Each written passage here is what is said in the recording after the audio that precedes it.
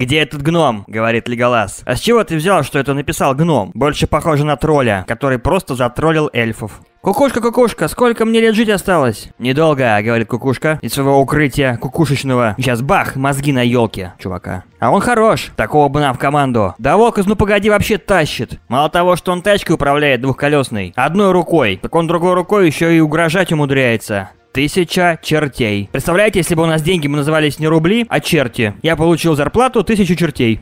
И да, друзья, всем привет, меня зовут Макс, в этом ролике я покажу вам приколы, которые вы мне прислали в личку. Тут нет ни одного прикола, который я сам нашел, все исключительно ваши. Вы тоже видите лица на этой корове. Я вижу лица, но меня больше радуют сережки у коровы, гламурные модные. И она даже специально ценники не сняла, чтобы хвастаться перед подружками. Типа, смотрите, какие дорогие сережки мне подарил мой бычок. Друзья мои, популярная фотография в сети, которая вызвала кучу споров. Что на ней изображено? Озеро или стена? Как вы думаете? Поставьте паузу Сейчас я вам скажу правильный ответ. Итак, пам-парам, паузу поставили. И на самом деле это стена. Такого болотного цвета. И на фотографии кажется, как будто это озеро. Мне кажется, в моем вагоне сейчас будет драка. Я бы сказал не драка, а целая война начнется. Они будут решать, у кого круче усы. Эволюция репки. Сначала эволюция, потом революция. Репка захватит власть.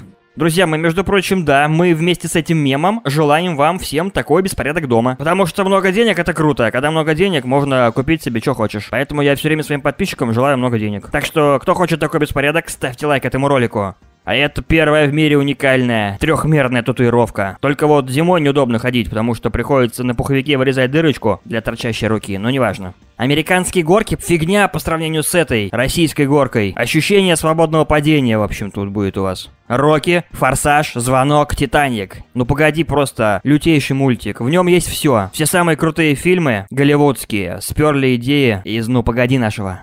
Уникальный вкус. Вкус КС. Чего? Чупа-чуп со вкусом контры? Как это представить можно? «Мам, там папа с лестницы упал!» «И что сказал?» «Мат пропускать?» «Да». «Молча упал». «Пара-пара-пам». Шутка на миллион. Она. «Я опаздываю, ты можешь положить еду в духовку на 120 градусов?» Я. «Конечно, дорогая. Четко по транспортиру. Ни градусом больше, ни градусом меньше, иначе пригорит».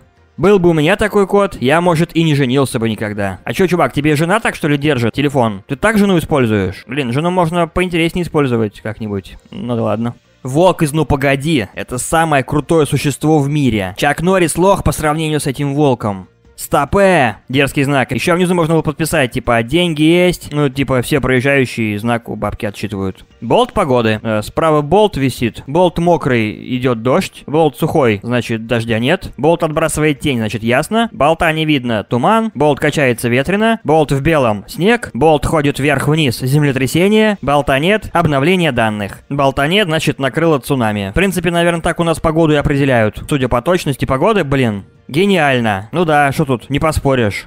Когда твой код не спит на клавиатуре, не мешает играть и не загораживает монитор. Блин, это какой-то неправильный код. Потому что код должен спать на клавиатуре и загораживать монитор. А тут прям код бро какой-то. Еще скажите, не сыт в тапке. Еще одна оптическая иллюзия. Мужик, но типа играет машинкой. Внимание, чебурек с мясом. Да ладно, вам повезло. Смотрите, может быть там не мясо, а поаккуратней. Похоже на какую-то собачью какашку внутри теста. Китайскую стену построили, чтобы китайцы не вываливались из страны. Есть в этом логика, ведь их очень много.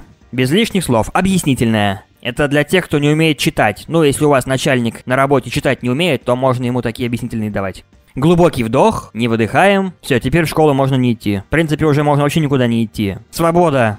Мам, откуда берутся перья в моей кровати? Ты петушара? Олег, я, кстати, пил сок лука, еще чеснок выжимал, капусту, зелень. Меня почему-то стошнило, много не пейте. Пил сок огурца, свеклы, капусты, даже сырого картофеля. Все это пил. Евгения говорит. Зачем? Олег отвечает. У меня была соковыжималка. Исчерпывающий ответ. Утю-тю-тю-тю. Блин, походу там весело на баскетболе у них. А сзади чувак, смотрите такой. Я тоже хотел поковыряться у него в носу. Не дай бог споткнуться. Прикатится просто такой весь синий, мешок с костями перемолотыми вместо человека. Раздробленный весь. Сломай мозг. Нет, это просто чудо баланса. Вы тоже можете так попробовать сделать. Не верите? Попробуйте, это легко, это каждый сделает. Я сейчас не шучу. И смотрится круто.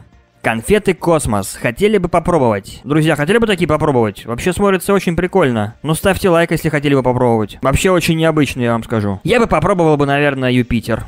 Поцелуй меня, принцесса, и проклятие единорога будет снято. Принцесса! Ох, блин, блин, блин. Причем это уже, наверное, десятая принцесса. Он сейчас такой, блин, пойду искать еще одну. 1991 год, 2015 год. Нашей Яме 24 года. Заметьте, я бы даже форму свою не изменила. Стабильность. В России стабильность. Как, судя по рассказам моих родителей, они добирались до учебы. Вот-вот-вот, я то же самое слышал регулярно. В метель, в пургу, на санках, три часа, до школы. Мой хозяин – идиот. Нет, он просто хочет быть котом. Он подражает тебе, он, он твой фанат. Мне нужна твоя одежда. Арнольд Шварцкот, блин. Что-то я сегодня Петросяню жестко. Арнольд Шварцкот. Меню. Чебурек 25, кот с грибами 50, кот с маслом 50, чай 15. Ну ладно. Зато честно. А это, друзья мои, терминал, который выдает талоны. Ну, такой электронный, знаете, подходите, на сенсоре нажимаете пальцем получить талон, и вам выезжает талон. Ну вот на Почте России в каком-то из городов нашей необъятной страны вместо терминала стоит такая штука. Подходишь и сам берешь талон из коробки. Илон Маск просто нервно курит в сторонке от таких технологий. Угадай страну. А что, по-моему, гениальная идея. Белье проветривается и при этом не намокает. Огурец здорового человека и огурец алкоголика. И кто-то внизу пишет комментарий. Огурец сына маминой подруги. Зачем сыну маминой подруги такой здоровый огурец? Скажите спасибо, что вообще дверь поставили, потому что могла бы быть тупо дыра, в которую можно было бы выпасть, если бы был час пик и было бы куча народу. Налейте мне 3 литра котика, пожалуйста. Ну, ребят, ни для кого не секрет, что коты это жидкость. Их можно перелить куда угодно, и они примут форму сосуда, в котором они находятся. Он любит эти тапочки. Сегодня он простоял в них около 30 минут. Потому что он считает в них себя огромным хищным зверем. Ну, короче, этот кот просто стоит в этих тапочках. Забавно смотрится, наверное. Тогда, сейчас, проекция ковра на стену. Но ведь от него нет толку, потому что ковер на стене грел, а здесь он просто создает некую такую эстетику. Друзья мои, это оптическая иллюзия, но она работает только если вы смотрите меня на планшете или на компьютере. На телефоне она будет очень маленькая. Короче, это живая двигающаяся картинка. Можете поставить паузу и посмотреть, что на самом деле это не анимация, это просто картинка. А вот еще один прикольный стол. Кажется, что на него сесть невозможно, и ты упадешь. И вообще он не может стоять в таком положении, потому что у него нет сзади ножек. Но прикол в том, что тень от стула на самом деле не тень, это опора, которая выглядит как тень. Забавное совпадение номеров. Но мы, конечно же, не будем это читать, и поэтому парам-пам. А здесь находится река Миссисипи. Пятиклассник. Мисси-писи, ха-ха. И знаете, в чем прикол? Я тоже ржал над этим Миссисипи. Мне кажется, эту стадию взросления проходит каждый человек. Каждый парень. Девчонки смотрели нас как на идиотов, но нам было пофиг.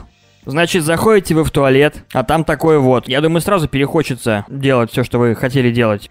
Заметили, друзья мои? Кто-нибудь что-нибудь заметил здесь? А я вам не скажу. Вот пишите в комментариях, кого увидите. Хотите больше приколов и мимасов, вступайте в мою группу ВКонтакте. Ссылка на группу будет в описании под роликом. Туда мы постим каждый раз что-нибудь новенькое, веселенькое. И нас там уже 30 тысяч человек в группе. Группа называется «Холодильник мемов». Также, друзья мои, если это видео вам понравилось, если вы улыбнулись, если у вас хоть немножко поднялось настроение, то ставьте лайк и жмите на колокольчик, чтобы не пропускать мои следующие видео. Всем удачи, добра и позитива, хорошего настроения, улыбок. И пока-пока. До встречи в следующих видео.